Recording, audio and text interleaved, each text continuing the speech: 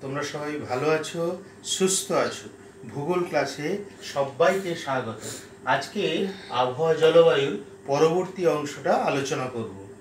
প্রশ্নানুসারেই আলোচনা করব আলোচনার সুবিধের জন্য। প্রথম প্রশ্ন দেখো, উষ্ণ উচ্চতা বৃদ্ধির সাথে সাথে উষ্ণতা হ্রাস পায় কেন? অর্থাৎ সমুদ্রপৃষ্ঠ থেকে উচ্চতা বৃদ্ধির সাথে সাথে ধীরে ধীরে উষ্ণতা হ্রাস পায় একথা আমরা জানি। কিন্তু এই হ্রাস পাওয়ার কারণ কি? প্রথমত, বায়ুমণ্ডলের স্বচ্ছতা।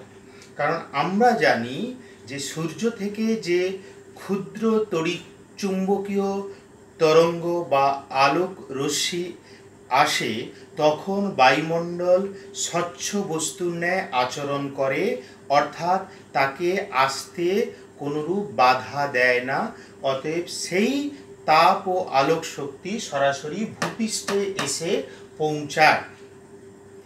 এরপর ভূপৃষ্ঠ থেকে বৃহৎ তরঙ্গ কি হয় না, তাপ যখন ফিরে যায়, তখন নিম্ন বায়ুমণ্ডল স্তরে উত্তপ্ত হয়।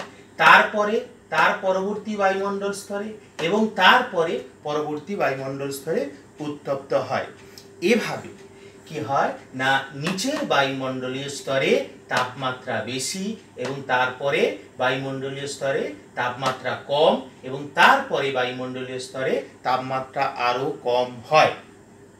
নেক্সট পয়েন্ট তাপ শোষণকারী পদার্থের উপস্থিতি ও পরিমাণ।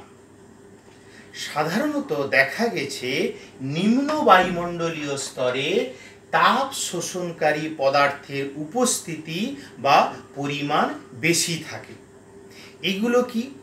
না, carbon dioxide, carbon monoxide methane CFC nitrous oxide ইত্যাদি তাপ শোষণকারী পদার্থগুলি থাকার কারণে এরা যে পৃথিবীপৃষ্ঠ থেকে বিকিরিত তাপ তারা ধরে রাখতে বা সংরক্ষণ করতে সক্ষম হয়। যার ফলে কি হয়? নিম্ন বায়ুমণ্ডল স্তরে তাপমাত্রা বেশি হয়, কিন্তু উচ্চ বায়ুমণ্ডলীয় স্তরে এই তাপ শোষণকারী পদার্থগুলির উপস্থিতি কম থাকার কারণে সেখানে তাপমাত্রা কম হয়। নেক্সট পয়েন্ট ঘনত্বের তারতম্য। আমরা জানি ভূপৃষ্ঠ থেকে উচ্চতা বৃদ্ধির সাথে সাথে বায়ুমণ্ডলের ঘনত্ব কমতে থাকে। স্বাভাবিকভাবে উচ্চ বায়ুমণ্ডলীয় স্তরে ঘনত্ব কম থাকার কারণে বায়ু প্রসারিত হয় এবং তাপ অতি দ্রুত তার সাথে বিকিরিত করে শীতল হয়ে থাকে। নেক্সট পয়েন্ট চাপের তারতম্য। ভূপৃষ্ঠ থেকে উচ্চতা বৃদ্ধির সাথে সাথে বায়ু চাপের পরিমাণও হ্রাস পেয়ে থাকে। এভাবে উচ্চ অঞ্চলে বায়ুর চাপ কম থাকার কারণে তাপ সহজে বিকিরণ করতে পারে এবং শীতল হয়ে পড়ে। এই সব কারণগুলোর জন্যই উচ্চতা বৃদ্ধির সাথে সাথে উষ্ণতা হ্রাস পায়। আর এই উচ্চতা বৃদ্ধির সাথে উষ্ণতা হ্রাস পাওয়ার ঘটনাকে বলা হয় normal lapse rate of temperature যাকে সংক্ষেপে এনএলআরটি নামেও অভিহিত করা হয়। নেক্সট প্রশ্ন পর্বত শৃঙ্গ অভিযানে তুমি যাত্রা শুরু করলে দু হাজার মিটার এবং চার হাজার মিটার উচ্চতায় আনুমানিক তাপমাত্রা কত হবে? অর্থাৎ এখানে একটা হিসেব করে বোঝানোর চেষ্টা করা হয়েছে যে surface temperature average surface temperature যদি ফিফটিন ডিগ্রি সেন্টিগ্রেড হয়, তাহলে ভূপৃষ্ঠ থেকে দু হাজার মিটার উচ্চতায় তাপমাত্রা কত হ্রাস পাবে এবং ভূপৃষ্ঠ থেকে চার হাজার মিটার উচ্চতায় তাপমাত্রা কত হ্রাস পাবে? তাহলে আমরা কি জানি? আমরা জানি যে ভূপৃষ্ঠ থেকে উচ্চতা বৃদ্ধির সাথে সাথে উষ্ণতা হ্রাস পায় এবং হিসেব করে দেখা গেছে যে ভূপৃষ্ঠ থেকে প্রতি হাজার মিটার উচ্চতা বৃদ্ধিতে প্রায় সিক্স পয়েন্ট ফোর ফাইভ বা six point five degree centigrade হারে তাপমাত্রা কমতে থাকে। তাহলে যদি দু হাজার মিটার যাওয়া যায়, তাহলে তাপমাত্রা কমে দাঁড়াবে কত? দু ডিগ্রি সেন্টিগ্রেড। তাহলে এখানে পনেরো ডিগ্রি পনেরো ডিগ্রি থেকে বাদ দেওয়া হয়েছে কত? না, তেরো ডিগ্রি সেন্টিগ্রেড। তাহলে প্রতি হাজার মিটারে কত বাদ গেছে? Six point five degree. তাহলে দু হাজারে six point five plus six point five equal to কী হচ্ছে না?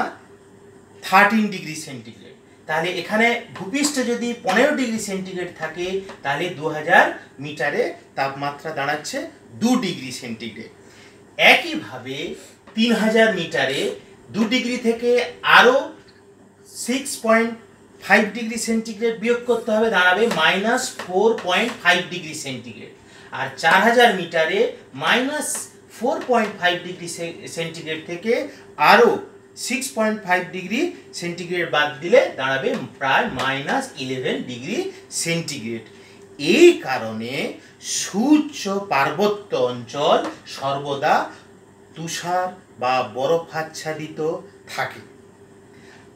এজন্যই আমাদের দার্জিলিংয়ে গরমের সময়ও শীত বস্ত্র পরিধান করতে হয়। কারণ নিম্ন তাপমাত্রার কারণে। নেক্সট প্রশ্ন।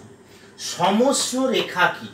সমষ্ণ রেখা আইসো থার্মস কথাটাকে যদি ভাগ করে নিই, আইসো কথার অর্থ হলো ইকুয়াল বা সমান, আর থার্মস কথার অর্থ হলো টেম্পারেচার অর্থাৎ সমান উষ্ণতা বিশিষ্ট রেখা। সাধারণত পৃথিবীর যে সমস্ত স্থানে বাৎসরিক গড় তাপমাত্রা একই থাকে, তাদেরকে কোনো কাল্পনিক রেখা দ্বারা যুক্ত করলে যে মানচিত্র প্রস্তুত করা হয় তাকে সমষ্ণ রেখা বলে। সমষ্ণ রেখার বৈশিষ্ট্য আলোচনা করে। রেশ- রেখার বৈশিষ্ট্য প্রথমত অবস্থান। সাধারণত যদি দুটি স্থানের মধ্যে উষ্ণতার পার্থক্য খুব বেশি হয়, তাহলে সমষ্ণ রেখাগুলি কাছাকাছি অবস্থান করে। যদি দুটো স্থানের মধ্যে উষ্ণতার পার্থক্য কম হয়, তাহলে সমষ্ণ রেখাগুলি দূরে দূরে অবস্থান করে। নেক্সট প্রকৃতি। সমষ্ণ রেখাগুলি যতই কাছাকাছি অবস্থান করুক না কেন, কখনোই একে অপরকে ছেদ করে না। নেক্সট বিস্তৃতি। সমষ্ণ রেখাগুলি সাধারণত অক্ষরেখা অনুসারে পূর্ব থেকে পশ্চিমে বিস্তৃত থাকে। কারণ অক্ষরেখা বরাবর সূর্যরশ্মির তাপীয় ফল একই হয়ে থাকে। নেক্সট বক্রতা। সাধারণত জলভাগে সমস্ত রেখাগুলি সমান্তরালভাবে বিস্তৃত থাকে। কিন্তু স্থলভাগে সমস্ত রেখাগুলি অধিক বক্রতার সাথে বিস্তৃত থাকে। তার কারণ স্থলভাগে তাপ গ্রহণ ও বর্জন অতি দ্রুততার সাথে হয়ে থাকে। ব্যবধান, সমস্ত রেখাগুলি সাধারণত স্থলভাগে কি হয় না, কাছাকাছি অবস্থান করে। এই কারণে উত্তর গোলার্ধে স্থলভাগের পরিমাণ বেশি থাকার কারণে সমস্ত রেখাগুলি কাছাকাছি অবস্থান করে। বিপরীত ক্রমে জলভাগের ক্ষেত্রে সমস্ত রেখাগুলি দূরে দূরে অবস্থান করে, দক্ষিণ গোলার্ধে জলভাগের পরিমাণ বেশি থাকার কারণে সমস্ত রেখাগুলি দূরে দূরে অবস্থান করে। মান, সাধারণত নিরক্ষ রেখা থেকে উত্তরে বা দক্ষিণে যতই যাওয়া যায় সমস্ত রেখার মান বৃদ্ধি পেতে থাকে। নিরক্ষীয় অঞ্চলে সমস্ত রেখার মান সর্বাধিক এবং মেরুতে সমস্ত রেখার মান সবচেয়ে কম হয়ে থাকে। নেক্সট অঙ্কনের সময়কাল। সাধারণত সমস্ত রেখাগুলি জানুয়ারি এবং জুলাই মাসে অঙ্কন করা হয়ে থাকে। কারণ এ সময় উত্তর এবং দক্ষিণ গোলার্ধে সর্বোচ্চ কিংবা সর্বনিম্ন তাপমাত্রা পরিলক্ষিত হয়। নেক্সট প্রশ্ন। সমস্যরেখার প্রয়োজনীয়তা ও গুরুত্ব আলোচনা করো। প্রথমত সমস্যরেখার সাহায্যে আমরা কতগুলো বিষয় জানতে পারি? প্রথম, উষ্ণতার অনুভূমিক বন্টন কোনো অঞ্চল কিংবা দেশ কিংবা মহাদেশের যে উষ্ণতা, অনুভূমিক বন্টন সেটা আমরা সমষ্ণ রেখা থেকে জানতে পারি। নেক্সট ঋতুগত ও বার্ষিক উষ্ণতার প্রভেদ। আমরা জানি ঋতুভেদে ও বাৎসরিক প্রভেদে উষ্ণতার তারতম্য হয়। সে কারণেই এই বিষয়গুলো আমরা সমষ্ণ রেখার সাহায্যে জানতে পারি। নেক্সট ক্ষুদ্র এলাকার উষ্ণতা। সমষ্ণ রেখার সাহায্যে আমরা কোনো একটি ছোট অঞ্চলে সেখানকার উষ্ণতা আমরা সহজে জানতে পারি। নেক্সট উষ্ণতা পরিবর্তনের হার ও দিক। সমষ্ণ রেখার সাহায্যে উষ্ণতার পরিবর্তন, তার দিক এবং হার, সেটা আমরা সহজে অনুমান করে থাকতে পারি। নেক্সট তাপ বলয় নির্ধারণ। আমরা যে তাপ বলয়গুলো নির্ধারণ করে থাকি, সেগুলি সমস্ত রেখার সাহায্যে আমরা করে থাকি। নেক্সট প্রশ্ন। বায়ুমণ্ডলের উষ্ণতা মাপক যন্ত্রের নাম কি? অথবা কোনো দিনের সর্বোচ্চ ও সর্বনিম্ন তাপমাত্রা পরিমাপ করা হয় কোন যন্ত্রের সাহায্যে? সাধারণত থার্মোমিটার যন্ত্রের সাহায্যে আমরা উষ্ণতা পরিমাপ করে থাকি। দুটি স্কেলে অর্থাৎ সেন্টিগ্রেড এবং ফারেনহাইট স্কেলে এর তাপমাত্রা নির্দেশ করা থাকে। তাহলে আজকে এই পর্যন্ত থাক।